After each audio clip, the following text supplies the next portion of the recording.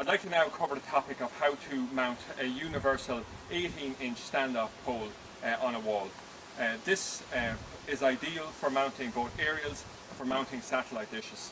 Particularly in the area of satellite dishes, it's used as an alternative to mounting a satellite dish in the front of a house. The pole is put at a back corner and is sufficiently high to get over the hip or over the soffit of the roof and gives a clear line of vision for the satellite, which means that you can pick up the signal while not um, reducing the value of your house. Okay, so uh, to this extent, the, the, the alternatives um, for mounting both aerials and satellites is to use uh, two different types of brackets. You could use a, a style scale uh, bracket here, which is a very very simple bracket.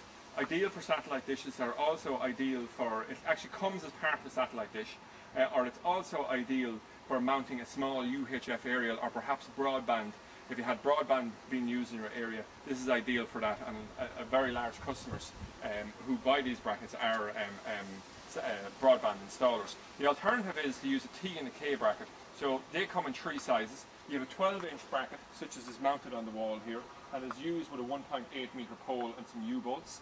Alternatively, you could use an 18 inch bracket or a 24 inch bracket, with the 18 inch bracket being the most commonly used.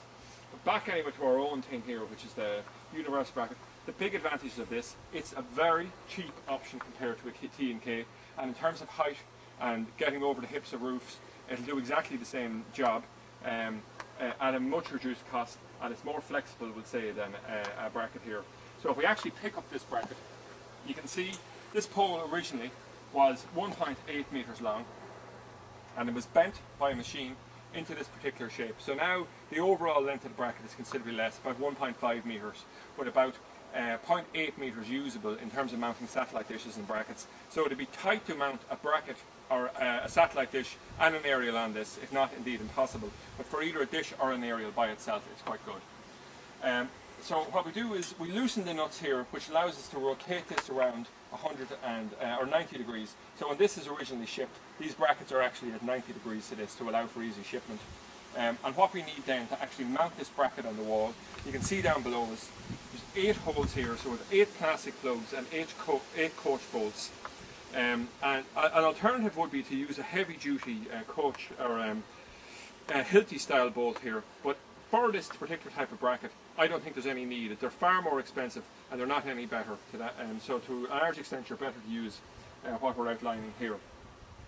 Um, so I'm going to start off here. The first step is to drill guide holes to mark where we're going to mark this um, bracket. So I use uh, an 8mm drill bit for this purpose. I come along, I grab my bracket, I mount it onto the wall, I try to ensure it's as straight as possible, and I drill a total of 8 holes. One, two, three, four, five, six, seven, eight. Now, I've already prepared for this job, so I've already drilled um, the eight holes here. And indeed, I've already done the next step, which would be to change this from an 8mm to a 10mm drill bit, and I drilled eight holes in a similar thing. And I've actually come along, and just for the example of this purpose, I plugged it, I pushed in four plugs. One, two, three, four, but obviously in, in reality I mount all eight plugs. Uh, five, six, seven, and eight, which will give a much more stable mounting. Um, so at this stage I'm actually finished with my drill. I can go back here, pick up my plastic plugs, uh, which I've already inserted, and now I come along and I pick up my bolts, my ratchet, my standoff bracket, uh, and my 13 millimeter socket. So I'll just put my um, ratchet in my back pocket for the second. I come along, I hold up this pole,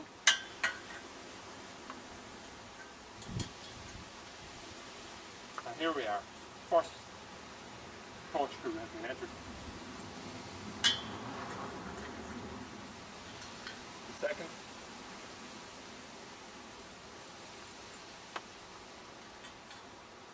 The third.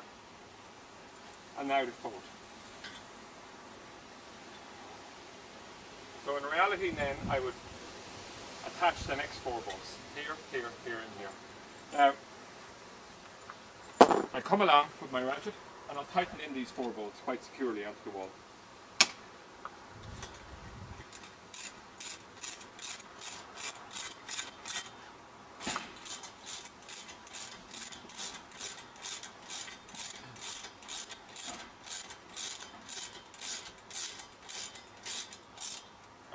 Very good. One, two,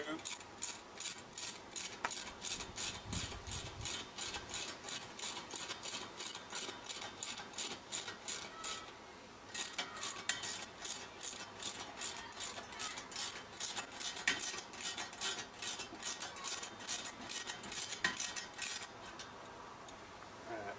So you can just see that entire process. Okay, I, I'd say most people who are looking at this video have gotten the idea now. So uh, I'll leave it at that for this moment. The next thing is you have an adjustability here of how, exactly how you want to rotate this. So what we'll do is, once again, luckily it's a 13 millimeter. So you can rotate this over and back depending on where you want it. Or you can raise it up and down slightly, but not overly so. I would say the total play you have there is only about 150 millimeters, okay? Um, and that's it. But normally what you want to do is, uh, you want to have it sticking out at, right degree, uh, right angles from the wall. So come along, just just uh, the actually opposite direction, tighten it in, and that's it. Um, it's a galvanized pole rather than an aluminium pole. Uh, quite strong, super satellite dishes and for aerials. And that's it, assembled in entirety. So you can see it's a very simple thing in terms of the tools that are needed. Um, other than a few um, bolts and plugs that come with it, no other um, accessories needed. And now we can come along and mount a satellite dish on this, mount an aerial on and we can run the cable down this and onto the wall. So uh, overall, quite an ideal bracket for this particular purpose. Uh, and that's it from beginning to end, the, uh, how to mount uh, a universal 18 inch standoff bracket.